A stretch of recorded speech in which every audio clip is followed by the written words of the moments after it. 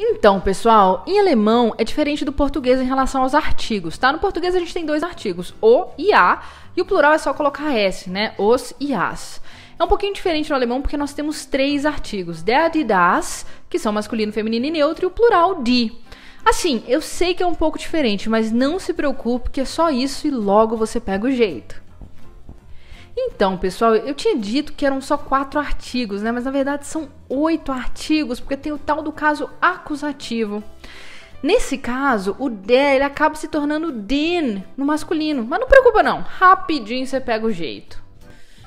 Hum, então, pessoal, hoje eu vim abrir o jogo. Na verdade, são 12 artigos, porque tem também um outro detalhe que eu não tinha contado para vocês, que é o caso da ativa. A gente vai ter dem, der, dem, den mais n. Mas assim, tranquilo, tá?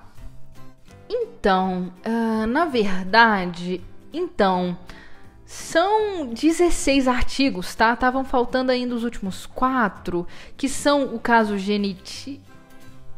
Pois é, genitivo